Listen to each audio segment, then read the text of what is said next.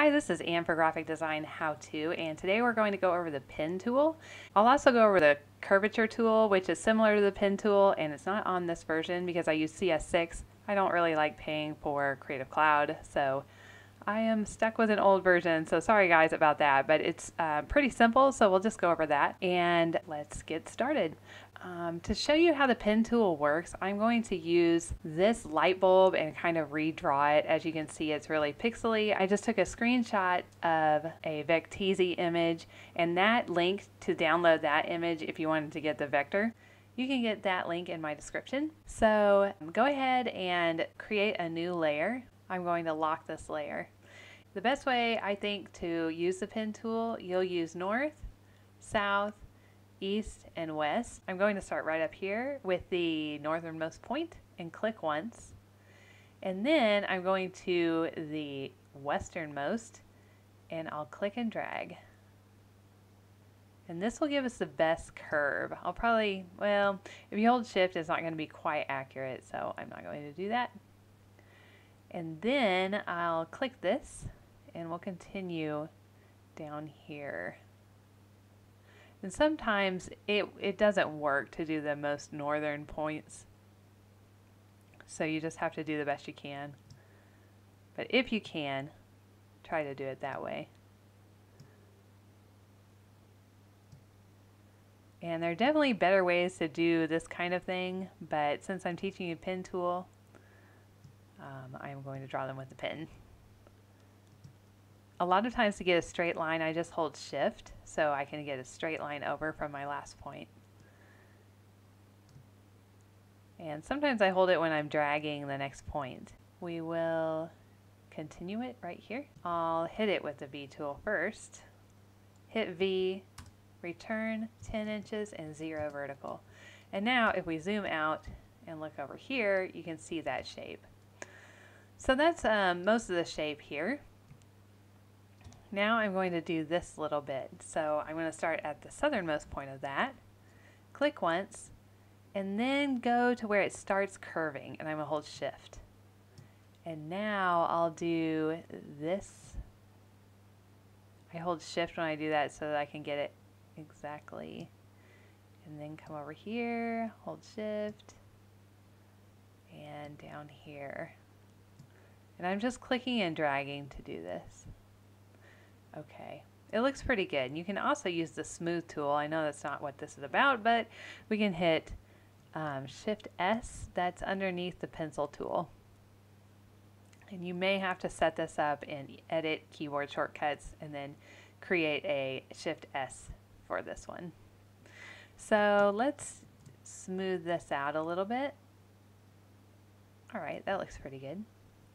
Now I'm going to make this quite a bit bigger. Okay. And now we'll send this over to the right. Hit V, return, 10 inches. And now you can see it's over here. Um, let's zoom in on that. I'm going to click on this and then use the eye tool. Uh, well, it's sort of okay. Let's go to stroke and put it on the interior of that line. Eh, it's so-so. We'll leave it like that. And we'll come back over here and finally I'm going to draw this interior shape. So hopefully this will work. I'll start with the southernmost point. Hold shift and click the next. And then we will get that little curve and go to the far west get that curve and then the far north. Okay. Now I'm going to click here and close the shape. All right. So now I will hit Shift Command A to deselect, hit V to select, and then V return and 10 inches. Okay, now let's look at what we have here. We have all the pieces that we need. So let's grab the first one.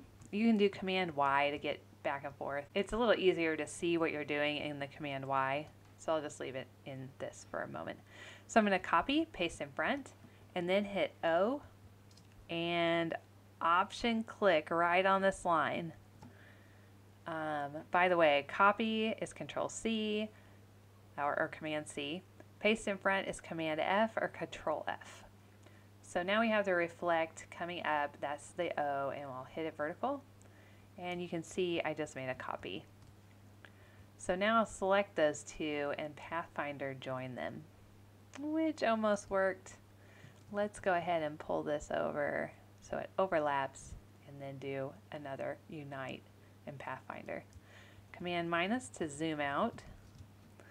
And now let's take this shape I'm going to Command C, Command F, and then hit O, and then click Option and click right on that line to do a vertical reflect. Now we've got those two.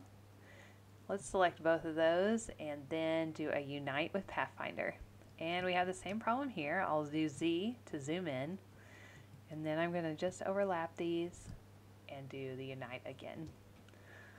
All right, let's see what we've got left. Um, this, hmm, very interesting. This part needs to just be flipped also. So we will do Command C, Command F, O, and then hold Option and click right here. And then say vertical. And we'll just move this a little closer this. All right.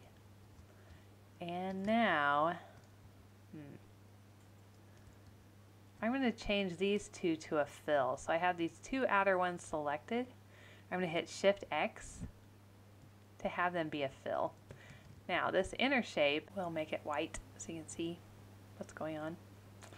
And it's not this, as I mentioned, this probably isn't the best way to do this. The best way would just be to make one shape and then make it a stroke so that it would be an even stroke all the way around.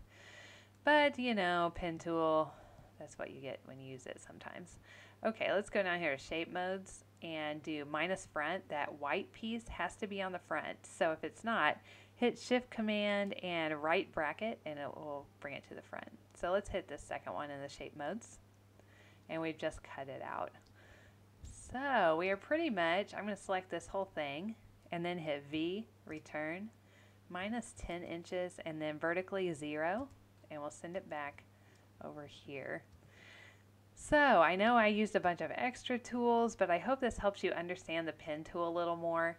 If you want to get these curves really nice, it's best case scenario is to use the north, south, east, and west to put your points on but that just isn't always going to be the case. Sometimes you just can't do that and have it end up looking right. So um, that is my short tutorial for today, but I also want to talk about the curvature tool which I don't actually have on this version of Illustrator. I have CS6 and that is on Adobe CC. That tool will show you where your next point is going to be. So you can move your mouse around. It'll show you what your curve is going to look like if you put your point where the mouse is. So that's really the main difference. It's a little easier for people to use the curvature tool than the pen tool if you're not used to it.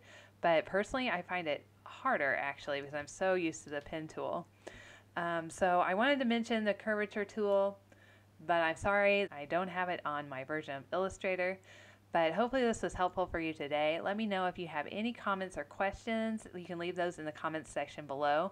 Like if you like this video and please subscribe if you want to see more videos like this one. Thanks guys!